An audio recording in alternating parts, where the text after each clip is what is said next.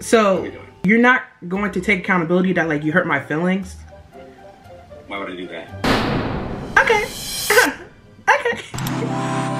You're watching Sophi Diaries.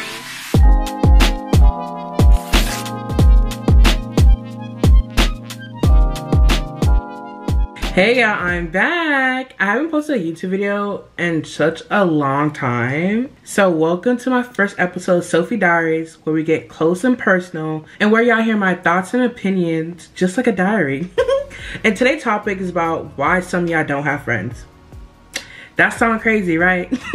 but let's be real here. Friendships aren't the same anymore. Like I know y'all had a moment where you look around and think like, dang, none of my friends are real or I don't have any supportive friends. And we're gonna be getting into that. So I have a couple points, like one, how y'all approach friendships. Two, the lack of accountability. Three, how people choose friends for the wrong reason. And I have many other points I'm gonna dive into in this video, but let's get started. so one is no accountability. I put that one because I realized a lot of y'all friendships don't last because some of y'all don't know how to take accountability. like some of y'all really cannot look at other people's perspectives and you're so blind, it's okay to admit that you're wrong. And that's really important. And some of y'all don't realize how important that is. like a lot of y'all don't know how to take responsibility for your actions and refuse to see other people's perspectives. And that's the one of the reason why some y'all lost a lot of your friends. It's like you have to know to take accountability. Like you have to sit there and be like, oh my God, I was wrong. I'm so sorry. Or I just try to see other people's perspectives. We're not kids anymore. At some point, you gotta take accountability, y'all. Like I feel like for a friendship to last a long period of time, you have to understand when to be like, okay, I was wrong. Even me, I'm not gonna lie, I was so hard-headed in friendships and where like I want to take accountability and I realized like, girl, this hurt someone. Like this really did hurt someone. Like if someone tell you like, hey, what you did bothered me. Oh, hold on, y'all. My friend is calling me. Hello. Um, so you know how you texted me uh, about that joke that you said you didn't like? Uh-huh. Yeah. I'm just having trouble, you know, understanding, you know, what what the issue is, cause like it was a joke. You know what I'm saying? Like I didn't. What? I'm, I'm just a little confused about why you you sent me that. Um, I didn't like the joke. It hurt my feelings. Like, and that's the one reason I texted you because I didn't feel comfortable about that joke. Yeah, but like I, it was it was a joke. Like you know what I'm saying? Like I wasn't I, it wasn't I wasn't trying to hurt you. It was just a joke. You can't take a joke.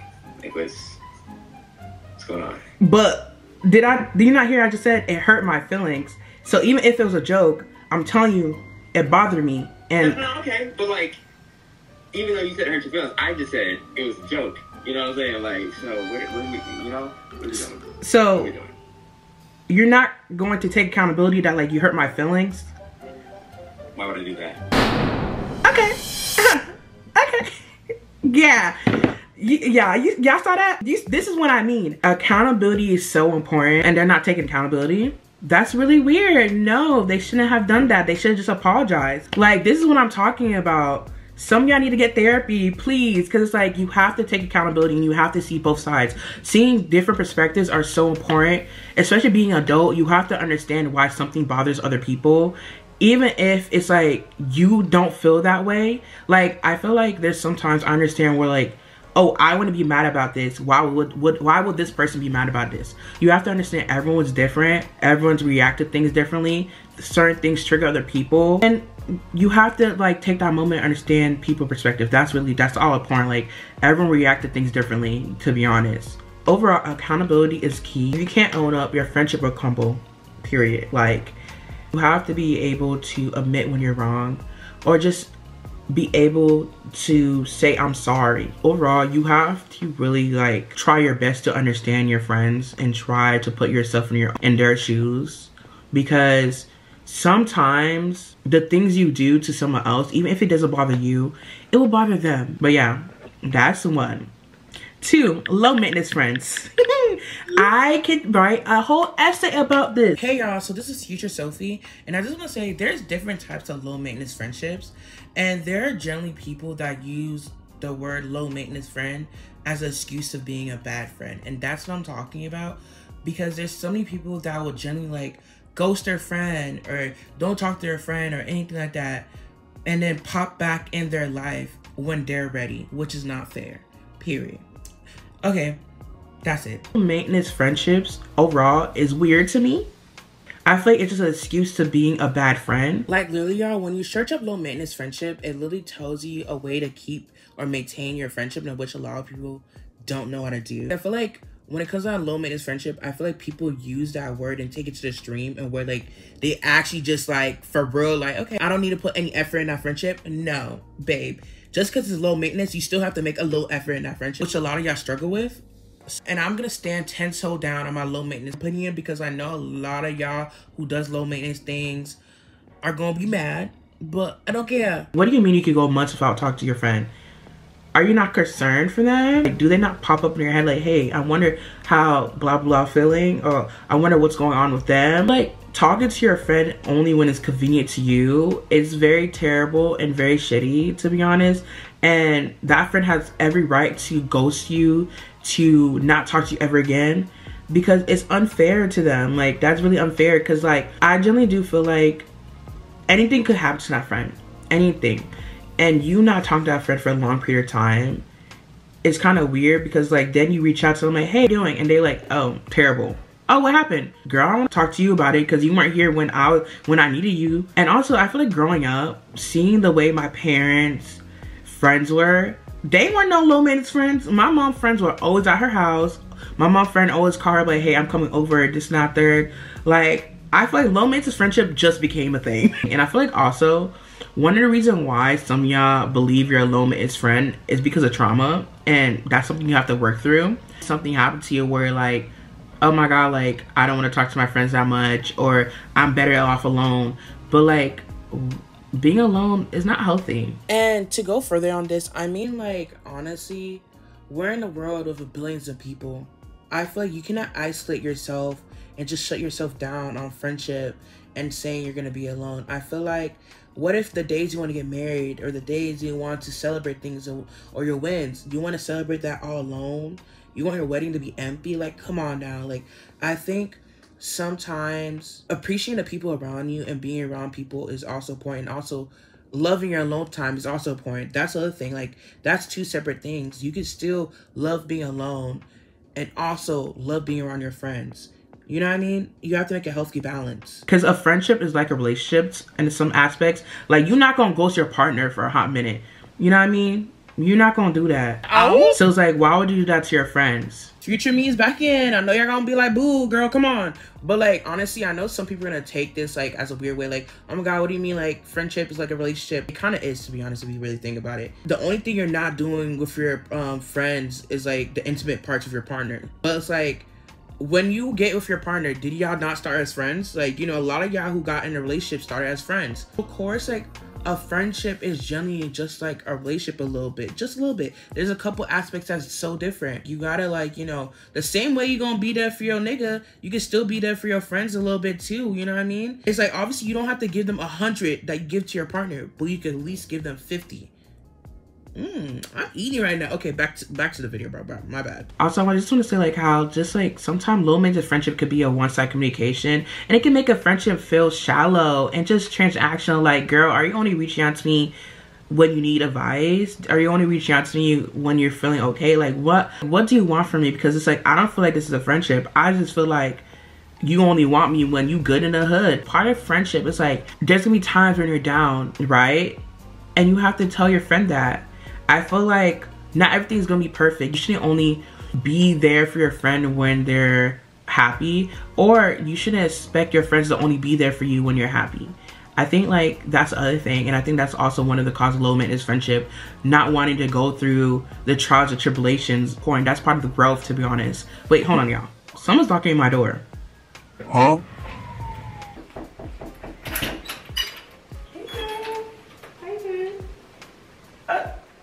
It's been six months. What you mean, how am I doing? Like, girl, you're not a little maintenance friend. Like, you don't let me in? Like, girl, no. Oh.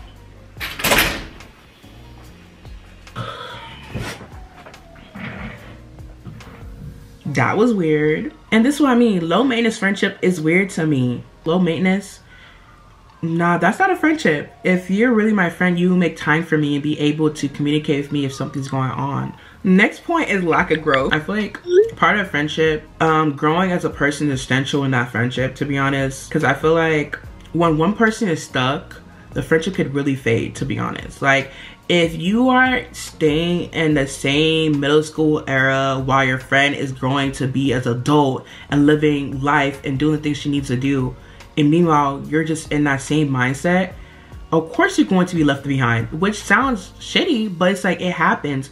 You have to grow, and I feel like for a relationship and a bond to be good, growth is very important. If you're not maturing and growing, it's very easy to get left behind, which sounds shitty, but it freaking happens. Because I know, like, at one point with me, I was in the same stuck negative mindset, and where, like, I know my friend was trying their best to help me, but there's only so much I can do.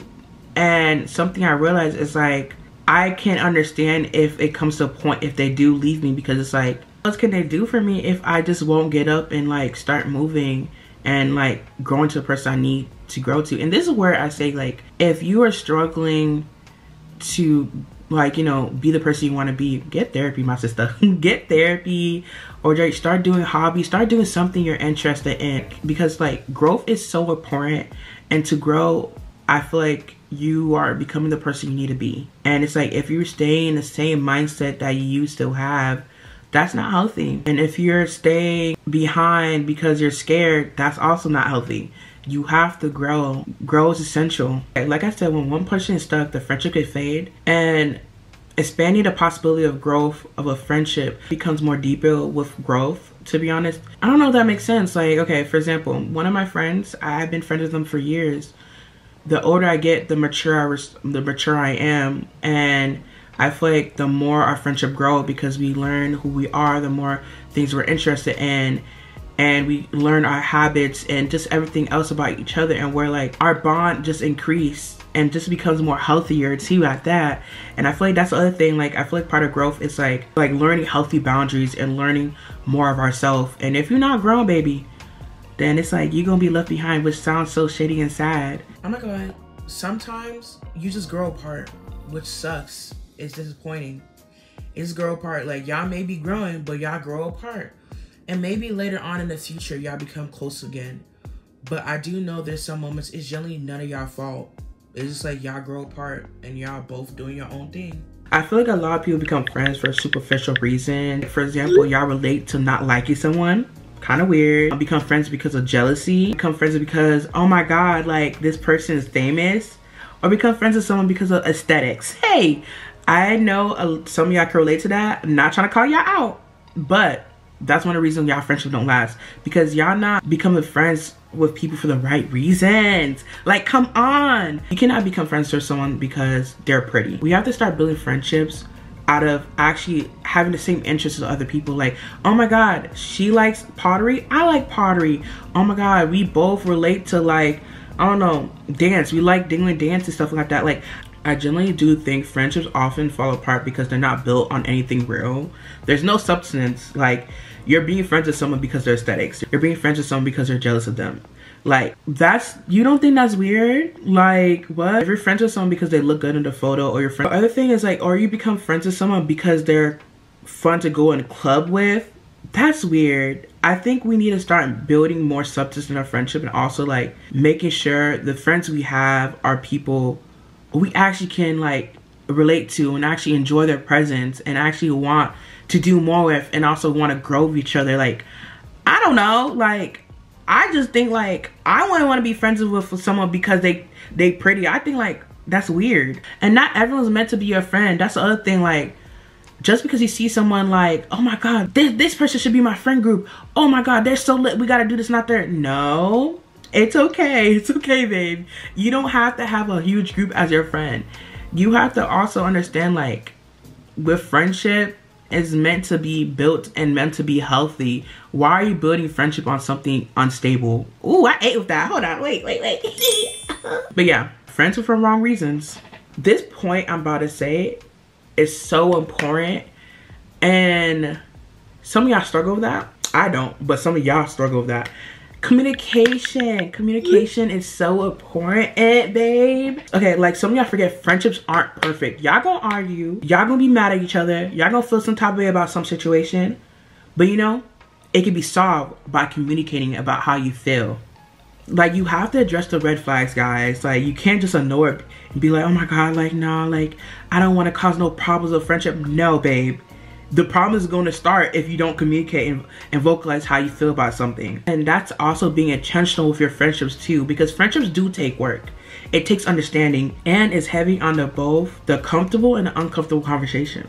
I feel like a lot of friendships I had would have lasted if like you know if I communicated how I felt or if they communicated how they felt. Like I literally had a friend who I literally think about her all the time, but I just knew we couldn't be friends no more because it came to a point since I didn't want to communicate how I felt. I started building like a really bad emotion toward this friend like and i hated that. I literally did not like them anymore. And like when i when it did come time where like okay i blew up and i started addressing everything i felt they're like sophi if you felt this way why didn't you tell me this? Like why you waited this long? Like that's the thing. If you wait so long to vocalize how you feel or you hold everything you feel inside you're literally going to blow up on that friend and they're probably confused like girl you never said this to me before so why are you just now telling me this? Like, like if you really care about this person, you have to be willing to have these tough conversations, even if you're scared.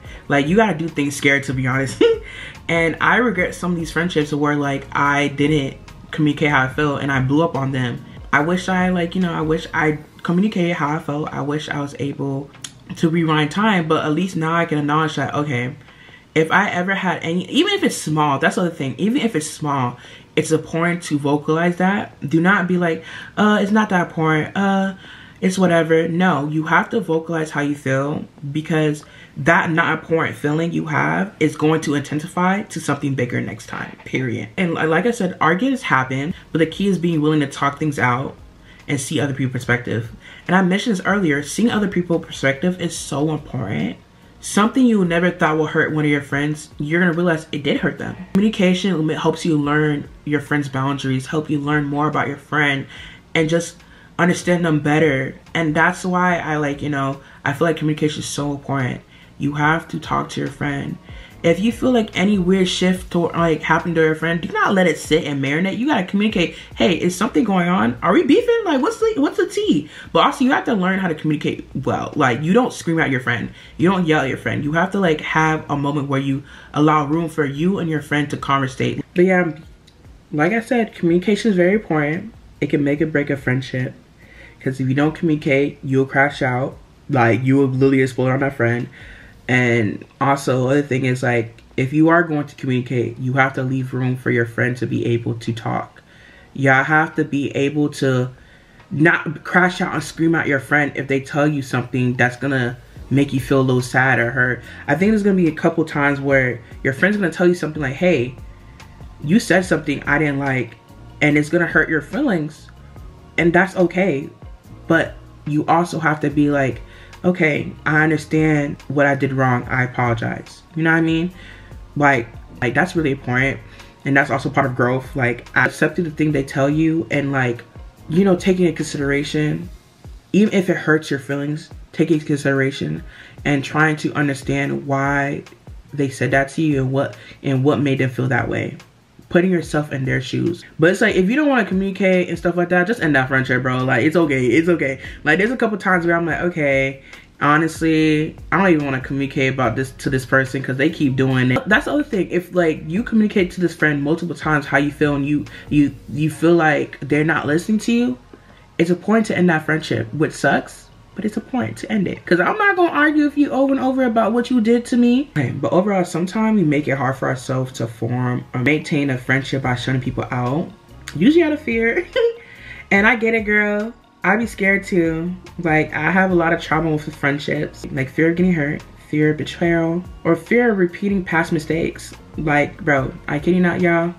I get so anxious when it comes down to making new friendships because I'm like, I don't want to repeat the same mistakes I did before. But we gotta be real. But if you're too scared of letting people in, you're missing out on opportunities and building something real. I just want to say, not all red flag should be the end of the friendship. Like readjusting is also really important too, which is hard to hear because it's like, damn, now like she crossed the boundary. That's my red flag. But it's like I do think, like I said, part of growth is so important to towards friendship. Like if you tell someone they did something they didn't you didn't like, I generally do feel like sometimes the friendship will grow where they will never do that again. This person become your best friend. Like readjusting is so important, but readjustment to each other works best when both parties are open to it. In which, you know, people struggle with that. Like people hate change, but change is also important.